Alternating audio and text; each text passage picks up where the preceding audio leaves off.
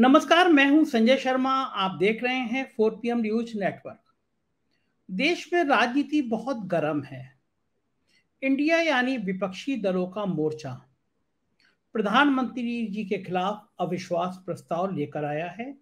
संसद में उस पर बहस हो रही है। बहुत गर्मा गर्म बहस हो रही है। भारतीय जनता पार्टी के सांसदों ने, मंत्रियों ने बात करी, विपक्ष ने आरोप लगाए। लेकिन हर बार की तरह मुझे आज प्रधानमंत्री जी संसद में दिखाई नहीं दिए। मैं अभी तक नहीं समझ पाया कि प्रधानमंत्री जी को ऐसा संसद से क्या नाराज़गी है। वो संसद आना क्यों नहीं चाहते? भारत दुनिया का सबसे बड़ा लोकतांत्रिक देश माना जाता है। हमारे यहाँ लोकतंत्र की जड़ें बहुत गहरी हैं, बहुत मज़बूत है। संसद मंदिर होता है। संसद कोई मन की बात कहने वाला रेडियो नहीं है जिसका स्विच आपने ऑन किया और ऑफ़ किया, बात शुरू हो गई और बात खत्म हो गई। 140 करोड़ लोगों का प्रतिनिधित्व करता है भारत का संसद। लोग चुन चुन के अपने मेंबर ऑफ़ पार्लियामेंट भेजते हैं और वो मेंबर ऑफ़ पार्लियामेंट अपना नेता चुनते हैं जो देश का प्रधानमंत्री हो जाता है। ये बात अलग है कि भारतीय जनता पार्टी के सांसदों की इतनी हैसियत नहीं रह गई है कि वो अपने प्रधानमंत्री से कह सके, प्रधानमंत्री जी, आप संसद में आ जाया करिए अच्छा नहीं लगता। उनकी इतनी भी हैसियत नहीं है कि वो ये कह सके, प्रधानमंत्री जी की क्षेत्र के लोग कहते हैं कि हमारे प्रधानमंत्री संसद में आते क्यों नहीं है, उन्हें संसद अच्छी क्यों नहीं लगती? अब वो ये तो कह नहीं सकते कि प्रधानमंत्री जी को लगता है कि संसद में बैठने वाले लोग उनके स्तर के नहीं है। प्रधानमंत्री अपना कद थोड़ा बड़ा समझते हैं। समझे भी क्यों ना? भारतीय जनता पार्टी के राष्ट्रीय अध्यक्ष जेपी नड्डा उन्हें देवताओं का देवता कहते हैं। मेरे एक मित्र हैं, बहुत सीनियर जर्नलिस्ट हैं और दिल्ली में सत्ता के गलियारों के बहुत करीब हैं। तीस सालों से ज़्यादा वो सत्ता में, विपक्ष में, तमाम मंत्रियों के, सांसदों से बड़े करीबी रिश्ते रहे हैं उनके। उन्होंने मुझे एक वाक्य बताया कि एक member of parliament prime minister से मिलने गए। जब प्रधानमंत्री से मिलने जाते हैं तो नेचुरली आप स्तुति गान शुरू कर देते हैं कि आपका बहुत अच्छा चल रहा है, बहुत अच्छा चल रहा है। प्रधानमंत्री जी ने उनसे पूछा चल बताओ, तुम्हारे क्षेत्र की जनता मेरे बारे में क्या सोचती है? अब उन सांसद जी ने कहा कि, हजूर बहुत अच्छा सोचती है। वो कहती है कि जब से आप आए हैं, तब से पूरा देश बदल गया। प्रधानमंत्री जी ने कहा अच्छा और बताओ और क्या सोचती है? बोले, हजूर ये कहते हैं कि भारत का दुनिया में ना डंका बज गया, नाम ऊँचा हो गया। इस तरह प्रधानमंत्री जी ने दो तीन बार और और और का उन विचारों पे और के बाद समझ में नहीं आया। सोचते रहे, प्रधानमंत्री जी को हो क्या गया है? बार बार और और और मैं कितना बताऊँ? प्रधानमंत्री जी ने कहा कि तुम जनता की नब्ज नहीं पकड़ पाए। तुम जानते नहीं, जनता मुझे भगवान समझती है। और प्रधानमंत्री जी के जो लक्षण हैं, उसमें ये गलत फहमी दिखाई देती है कि वो अपने आप को ईश्वर का दूर समझ बैठे हैं, क्योंकि उनकी चमचागिरी करने के लिए उनके पार्टी के राष्ट्रीय अध्यक्ष जेपी नड्डा मौजूद हैं, जो उन्हें देवताओं का देवता कहते हैं। इसीलिए वो संसद में नहीं आना चाहते, क्योंकि संसद में तो मामूली लोग रहते हैं। लेकिन इन्हीं देवताओं के देवता ने अपने चुने हुए मंत्री का आज वो चेहरा देश को दिखा दिया, जिससे देश लज्जित हो गया। पूरी दुनिया में देश का सर शर्म से झुक गया। मैं देख रहा था, मैं सच बता रहा हूँ, मेरा खून खोल गया। मुझे लगा, ये बात मैं कहूँगा ज़रूर, अपने दर्शकों के सामने कहूँगा, डंके की चोट पे कहूँगा। ऐलानिया कहूँगा कि लोकसभा अध्यक्ष मुझे बुला के दंडित करना चाहे तो मुझे स्वीकार है। मंत्री मेरे खिलाफ विशेषाधिकार प्रस्ताव लाना चाहे तो वो मुझे स्वीकार है। लेकिन मैं ज़रूर कहूँगा कि आज जो वीडियो मैं आपको एक मंत्री का दिखाने जा रहा हूँ, वो सड़क छाप गुंडे से ज़्यादा नहीं है। और मैं ऐलानिया इस बात को कहूँगा, कोई भी परिणाम हो तब भी कहूँगा इतना निम्न स्तर सिर्फ़ और सिर्फ़ मोदी जी कर सकते हैं कि ये गुंडे को गुंडे वाली भाषा बोलने के लिए मंत्री बना सकते हैं और वो लोकतंत्र के सबसे बड़े मंदिर में गुंडों वाली भाषा बोल सकता है। अदम गोड भी बहुत शानदार शायर हुए हैं। शायद उन्होंने सोचा होगा कि जब विधानसभा में, लोकसभा में गुंडे आ जाएँगे तो एक कविता लिखी है उन्होंने। वो मैं कविता आज आपको सुनाना चाहता हूँ। बड़ी फ़ेमस लाइनें हैं वो। मतलब मैं, शायद इंटर विंटर में पढ़ रहा हूँ मैं जो तब से वो लाइनें मैंने सुनी हैं और मुझे बहुत अच्छी लगती हैं। इसलिए अच्छी लगती है कि लोकतंत्र का इतना सटीक चित्रण विधानसभाओं का लोकसभाओं का इतना बेहतरीन चित्रण सिर्फ़ अदम गोंडवी जैसा शायर ही कर सकता है। वो कवि ही कर सकता है। काजू भुने प्लेट में काजू भुने प्लेट में विस्की गिलास में उतरा है रामराज आज विधायक निवास में। अब विधायक निवास की जगह आप इसको संसद के सदस्यों के घर कह सकते हैं या कुछ और जगह कह सकते हैं, लेकिन भाव नेताओं का, जमावाड़ा नेताओं के समूह का है। काजू भुने प्लेट में विस्की गिलास में उतरा है रामराज विधायक निवास में। पक्के समाजवादी हैं पक्के समाजवादी हैं, तस्कर हो या डकैत? पक्के समाजवादी हैं, तस्कर हो या डकैत? इतना असर है खादी के उजले लिबास में। उतरा है रामराज विधायक निवास। आज़ादी का वो जश्न मनाए तो किस तरह? आज़ादी का वो जश्न मनाए तो किस तरह? है जो आ गए फुटपाथ पर, घर की तलाश में, उतरा है रामराज विधायक निवास। पैसे से आप चाहें तो सरकार गिरा दें। पैसे से आप चाहें तो सरकार गिरा दें। संसद बदल गई है यहाँ की नखास में। जनता के पास एक ही चारा है। जनता के पास एक ही चारा है बगावत। ये बात मैं कह रहा हूँ होशो हवास में। और आज इस मंत्री का बयान सुनकर मुझे सच में लगा कि जनता के पास एक ही चारा है, बगावत। सुनवा रहा हूँ मैं केंद्रीय मंत्री नारायण राणे का। आज का संसद में दिया गया भाषण भाषण के दौरान उनकी सड़क छाप गुंडई देखिए। किस तरह वो एक मेंबर ऑफ़ पार्लियामेंट को धमका रहे हैं, कह रहे हैं, बताऊँ, तेरी औकात बताऊँ। तीन, साढ़े तीन मिनट का वीडियो है, ज़रूर सुनिए जहाँ आपको पता चले, जिससे आप जान सकें कि आपके बड़ी बड़ी बातें करने वाले नेतृत्व ने आपको कैसे गुंडे मंत्री दिए हैं। महाराष्ट्र में एक चिकन की शॉप चलाते थे, मुर्गा बेचते थे, और अब संसद में मान सम्मान बेच रहे हैं। नारायण आर्य का वीडियो सुनिए और समझ जाइए क्या मानसिकता है इनकी।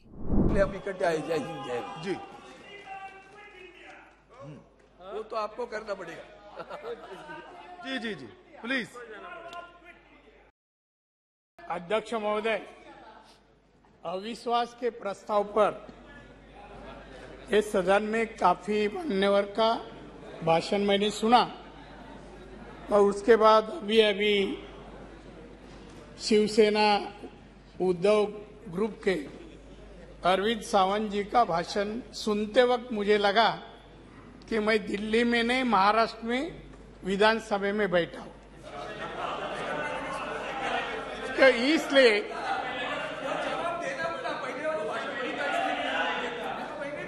अरे अरविंद अभी आपका सुना ना मैं अभी मेरा मंत्री जी मान्य मंत्री जी बोलिए।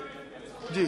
अध्यक्ष महोदय अविश्वास का प्रस्ताव पे उन्होंने ये उसके पहले सम्मानीय शिंदे साहब ने जो विचार रखे, उनको उत्तर देने का काम किया। और उन्होंने हिंदुत्व की भाषा की, उसका शिवसेना का, इनका गट का उद्धव जी गट का गट ग्रुप का। हिंदुत्व किस तरह का है, उसका भी बारे में उन्होंने कुछ कहा। अब हिंदुत्व के बारे में इतने हो, हिंदुत्व चाहते हैं। उनको गर्व है तो जब 19 को सत्ता पाने के लिए भारतीय जनता पार्टी को छोड़कर उस पर पवार साहब के साथ गए, जब हिंदुत्व याद नहीं है? नहीं आया याद? सर, अभी वो, ए- एक एक मिनट। सर, वो हिंदुत्व और असली शिवसेना के बारे में कह रहे हैं। ये शिवसेना में कब आया? मैं उन्नीस का शिव सैनिक हूँ साथ में। उन्नीस।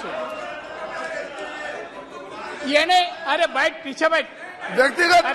मंत्री जी। बैठ। मान्य मंत्री जी प्लीज़ क्या एकदम है? प्लीज़ नो नो नो मान्य मंत्री जी प्लीज़ ना उनको बैठने को कृपया प्लीज़ डोंट बी मैं पर्सनल प्लीज़ बोला। जी। ना हम लोग कोई भी नहीं कुछ वैयक्तिक टिप्पणी से बचिए प्लीज़ वैयक्तिक टिप्पणी से बचिए प्लीज़ सर अभी वो भारतीय जनता पार्टी माननीय एक अरे पार्टी बदलने को भी ताकत लगता है तुम लोग को छोड़ के गए ना? प्लीज़ अरे छोड़। मान्य मंत्री जी इधर इधर। एड्रेस द चेयर ओनली मैं- ओनली मैं पार्टी छोड़ा ना ये 220 लोग ने प्रोटेक्शन लिया था 220 लोगों ने। हो गया। ये क्या बात करते हैं अभी? थैंक यू सब अभी कुछ नहीं बचे। अभी बचे नहीं है। खाली अभी जो आवाज़ आ है आ रहे हैं ना वो बिल्ली का हो टाइगर का आवाज़ नहीं है वो। वो खत्म हो गए अभी। अभी वो उनको कोई हमारे पंत प्रधान जी के ऊपर बोलने का कोई अधिकार नहीं है औकात नहीं है औकात नहीं है उनकी। पंत प्रधान जी के ऊपर बोलने की। जी जी। अभी आपने देखो महाराष्ट्र में कहाँ तक है? कभी डूबने वाले? वही देखो मगर भारतीय जनता पार्टी और माननीय पंत प्रधान जी हमारे माननीय अमित शाह इनके ऊपर उंगली भी बताए ना। थैंक यू तो तुम्हारी औकात में निकालूँगा क्या असलियत है? इधर, इधर, असलियत में निकालूँगा।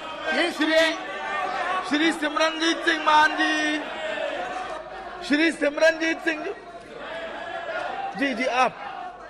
प्लीज़ प्लीज़ बैठ जाइए बैठ जाइए प्लीज़ हो गया। ठीक है ठीक है ठीक है ठीक है। अब वर्षाकालीन सत्र है। थोड़ी गड़गड़ाहट, थोड़ी बारिश, ये लग रहा है कि होना ही है। बैठिए बैठिए। अभी, अरे कई, बैठिए तो सही, बैठ जाइए। बैठिए, आप तो बैठिए। अब बारह, तेरह दिन तो केवल गड़गड़ाहट हुई है। अब थोड़ी बूंदाबांदी हो रही है तो उसका आनंद लीजिए। कड़वा मत कड़वाइट मत करिए प्लीज़ सुना आपने? कल्पना कर सकते हैं ये भारत सरकार का मिनिस्टर है। सोच सकते हैं आप, भारत सरकार का मंत्री ऐसी गुंडई वाली भाषा संसद के अंदर कर सकता है। बैठ जा बैठ जा।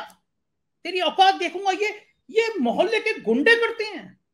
लेकिन मोदी सरकार का मिनिस्टर संसद के अंदर ये भाषा बोल रहा है। और भाषा तो आज जिस सांसद से बीजेपी ने शुरुआत कराई, निशिकांत दुबे, उन्होंने भी आज अपना स्तर दिखाया। मैं कहना नहीं चाहता सांसद की मर्यादा है, लेकिन निशिकांत दुबे कारपोरेट जगत के लाइजनर के रूप में जाने जाते हैं, सोशल मीडिया खंगाल के देख लीजिए। एसआर कंपनी से लेकर अंबानी अडानी तक लंबा उनकी एक लिस्ट है जब जब संसद में बोलते हैं तो लोग हँसते हैं कि किसी कारपोरेट ने लिख के दिया होगा, बात की होगी। आज कह रहे हैं कि वो जेडीयू को फंड उन्होंने अरेंज कराया है। संसद में निशिकांत दुबे का ऐलानिया बयान सुनिए। जनता दल यूनाइटेड को मैंने फंड अरेंज कराया है। संजय मिश्रा जी की ईडी सुन रही है क्या? शिबू सोरेन के बेटे हेमंत सोरेन को ईडी का नोटिस भेजने वाले अब क्या पूछेंगे? निशिकांत दुबे से कि जेडीयू को तुमने फंड दिलवाया तो दिलवाया किससे? निशिकांत दुबे जिन बातों के लिए जाने जाते हैं, निशिकांत दुबे जिन बातों के लिए बदनाम हैं, निशिकांत दुबे पर फिक्सर होने का जिन चीज़ों पे आरोप लगता रहता है, निशिकांत दुबे के कारपोरेट जगत के घरानों की और उनकी लाइजनिंग की बातें होती रहती हैं। आज निशिकांत दुबे ने यह कह के खुद साबित कर दिया कि उनकी धुर विरोधी जेडीयू को उन्होंने फंड उपलब्ध कराया था। सुनिए खुद निशिकांत दुबे के मुँह से। और और उस वक्त का मैं एक चीज़ और खुलासा कर देना चाहता हूँ कि जेडीयू को जेडीयू को यदि सबसे ज़्यादा किसी ने फंड करवाया होगा तो यदि दो चार पाँच आदमी होंगे तो उसमें एक नाम निशिकांत दुबे का भी है। आप मेरा विरोध कर रहे हैं। मेरा है, मैं on the floor of the house कर रहा हूँ, बड़ी गंभीरता के साथ कर रहा हूँ। आप उसकी बात कर रहे हैं? आप पूछ लीजिएगा अपने मुख्यमंत्री से। सुना आपने? एक पत्रकार हैं रोनी सिंह। वायर में लिखती हैं, देश की बड़ी फायर ब्रांड पत्रकार हैं। कांग्रेस की जब सरकार थी, मनमोहन सिंह की, मनमोहन सरकार उनसे दुखी रहती थी, भाजपा दुखी रहती है, क्योंकि बहुत बेबाक लिखती है, दस लाख लोग तो उनको ट्विटर पर फॉलो करते हैं। निशिकांत दुबे की कथित फर्जी डिग्रियों, उनकी कंपनियों से लाइजनिंग। ऐसी तमाम बातें रोनी ने ट्विटर पे खुलासा किया। रोनी ने यह भी लिखा कि बड़ा मनहूस सांसद है। जिसके संग रहे, उसकी लुटिया डबो दी और एक लंबी लिस्ट बताई, रोनी ने मुझसे बात करते करते पहले रोनी को सुनिए, रोनी ने मुझसे बात करते करते क्या कहा निशिकांत के लिए? आज लोकसभा में निशिकांत दुबे आपका नाम ले रहे हैं और कह रहे हैं कि न्यूज़ क्लिक से आपको फंडिंग मिलती है। आपने कहा कि न्यूज़ क्लिक के लिए आपने कभी काम नहीं किया तो आखिर निशिकांत दुबे को आपसे इतनी समस्या क्या है जो आप पे ऐसा आरोप लगा रहे हैं? देखिए संजय जी आ, मुझे नहीं पता निशिकांत दुबे जी को क्या समस्या है। मुझे लगता है कि उनकी बौखलाहट का एक कारण ये हो सकता है कि जब इनकी डिग्री पे बहुत विवाद हो रहा था और बहुत लोग सवाल पूछ रहे थे, जैसे, और उनके पार्लियामेंट की कोलीग्स भी, जैसे महुआ मोहित्रा जी, उन्होंने सवाल उठाए थे, उस समय क्योंकि हम पत्रकार हैं और पत्रकारिता करते हैं तो हमने भी निशिकांत दुबे से, मैंने भी उनसे कुछ सवाल पूछे थे उस इशू को लेके। तो मुझे लगता है उनकी जो बौखलाहट, जो आज यू नो संसद में दिखी, जिसके कारण वो संसद में खड़े होकर झूठ बोल रहे थे, अपना पार्लियामेंट्री प्रिविलेज अब्यूज करके। वो आई थिंक ये एक रीजन था। दूसरा रीजन ये भी है कि निशिकांत दुबे जी की जो भाषा होती है सोशल मीडिया में स्पेशली बहुत ही खराब होती है। It's very unsuitable to a parliamentarian खासकर जिस तरीके की टिप्पणी उन्होंने कुछ महिलाओं के बारे में करी थी, जो अगर आपको याद होगा, उसको कुछ किसी को मैं नाम नहीं लेना चाहती हूँ उन्होंने दो महिलाओं को वो ये नगर वधु करके संबोधित करा था। तो वो भी बहुत ही कंट्रोवर्शियल हो गया था क्योंकि मैं एक एक महिला हूँ, मुझे लगता है कि इस type of language specially coming from a parliamentarian एक यू नो आप एक रिस्पॉन्सिबल पोजीशन में हो, और अगर आप महिलाओं के प्रति ऐसी ओछी यू नो टिप्पणी करेंगे तो इसको सबको कंडेम करना चाहिए तो मैंने भी कंडेम करा था। और निशिकांत दुबे की प्रॉब्लम आई थिंक यही है कि जो सवाल हमने उठाए थे और जो हमने उस, उनके बारे में बोला था, उसका वो जवाब नहीं दे सकते। फैक्चुअल जवाब तो है नहीं। तो मुझे नहीं पता मतलब उनको शायद सुबह सपना आया होगा या सोचा होगा कि यू नो मेरा नाम ले। तो इसका मतलब कोई एक्सप्लेनेशन नहीं है। मेरा न्यूज़ क्लिक के साथ कभी भी कोई इक्वेजन रिलेशन नहीं रहा है। सबको पता मैं तो वायर के लिए लिखती हूँ, उसके पहले इकोनॉमिक टाइम्स के लिए लिखती थी। और मैंने आई डोंट थिंक कि मैं कभी न्यूज़ क्लिक में एक एक गेस्ट बन के भी उनके शो पे गई हूँ।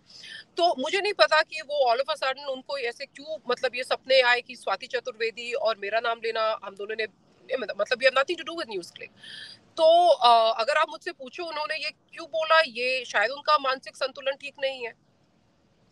रोनी जी, आपने एक बार ट्वीट किया था और ये लिखा था कि निशिकांत दुबे जिन जिन के संग रहे हैं, और कई लोग कहते भी इस बात तो कि जिन जिन के संग रहे हैं, उनकी एक गाँव में कहावत कही जाती है, उनकी लुटिया डूब जाती है, या भैंस पानी में चली जाती है।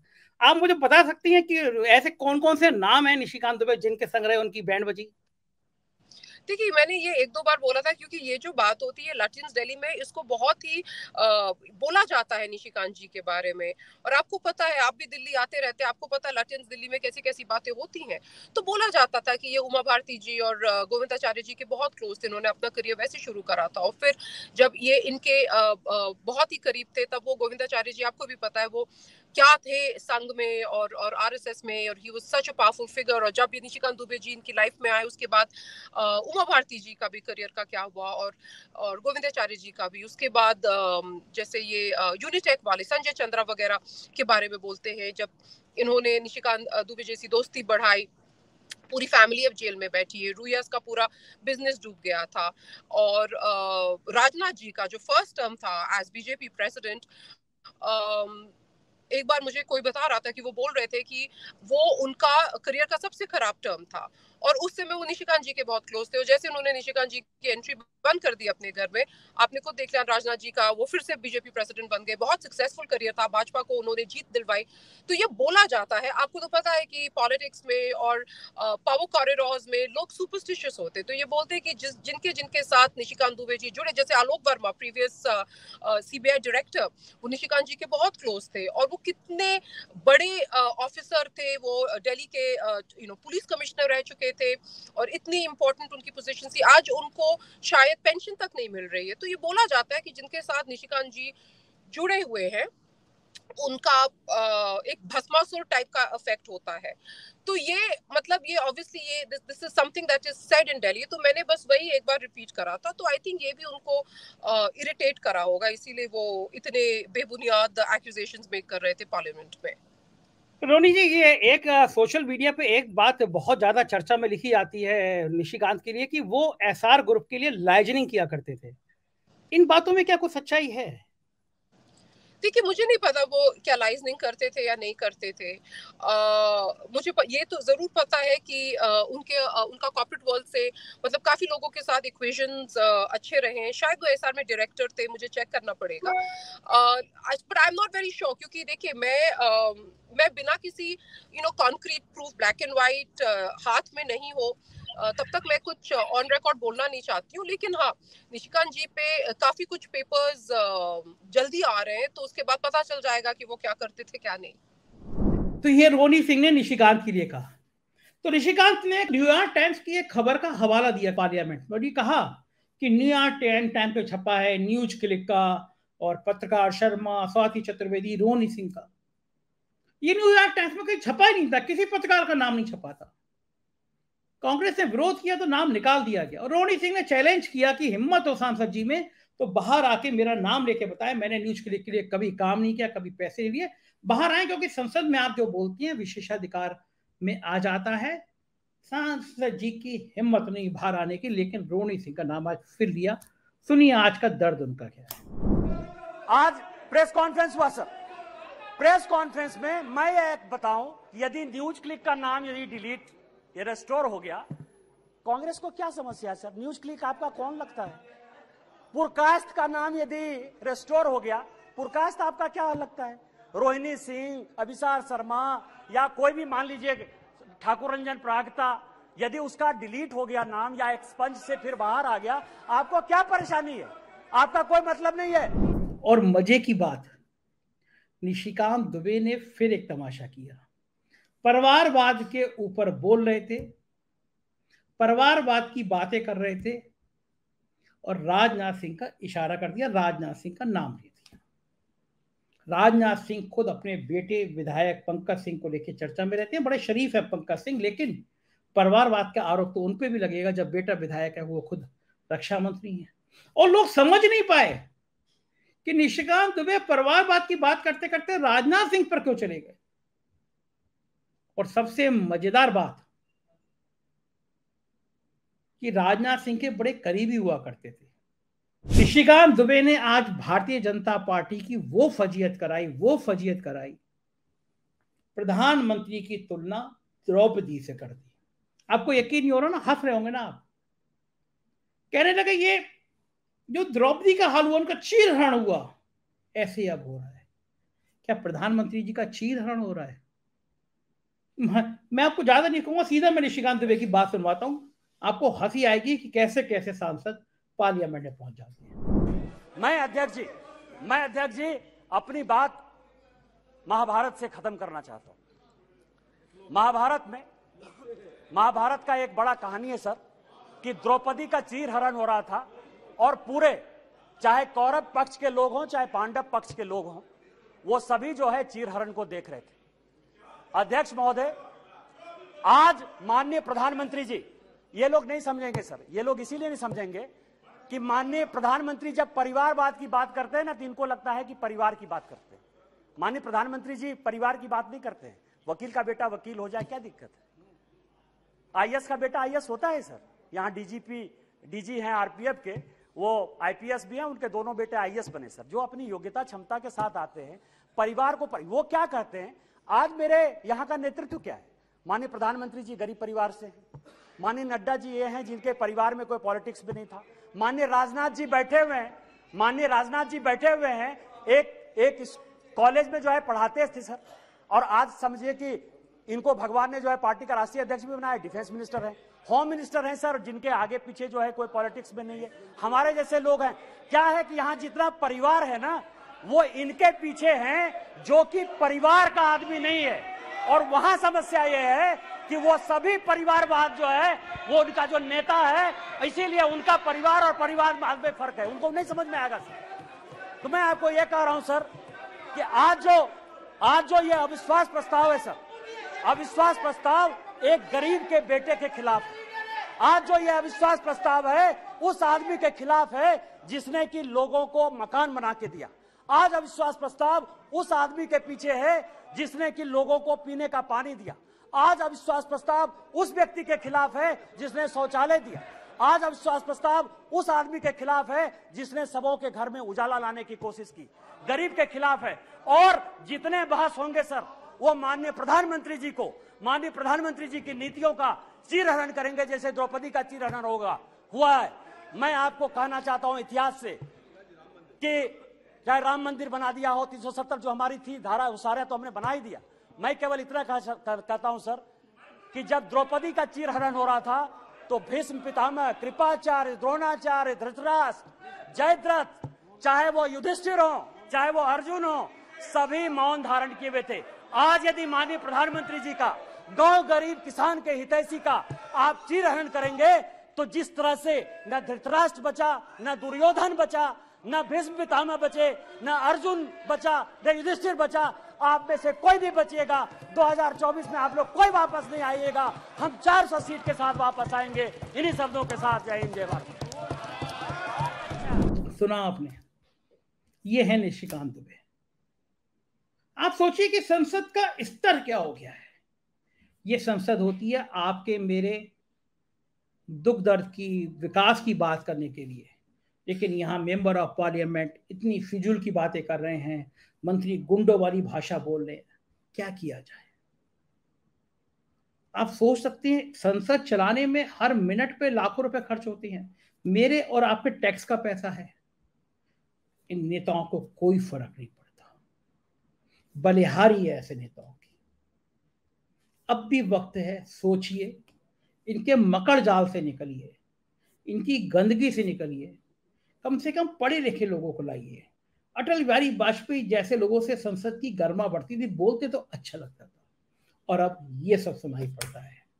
मुझको यकीन है, आपके अंदर का बदलाव सरकार को सोचने पे मजबूर करेगा।